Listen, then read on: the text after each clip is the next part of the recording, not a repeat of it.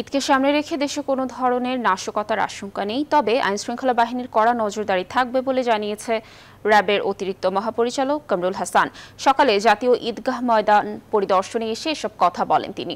অনলাইনে বাড়ানো হয়েছে বিশেষ নজরদারি জানিয়ে তিনি বলেন ঈদের নিরাপত্তায় সাদা পোশাকে র্যাব সদস্যরা কাজ করছে। বিভিন্ন চেকপোস্টে বাড়ানো হয়েছে বিশেষ নিরাপত্তা।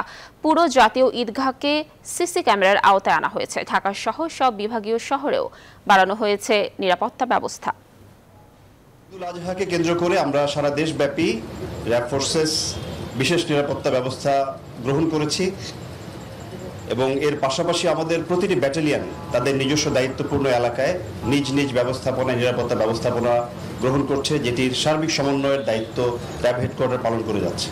এছাড়া আমরা বিভিন্ন জায়গাতে অবজারভেশন পোস্ট এবং চেকপোস্ট স্থাপনের মাধ্যমে আমাদের নজরদারি এবং নিরাপত্তা বিধান করে যাব।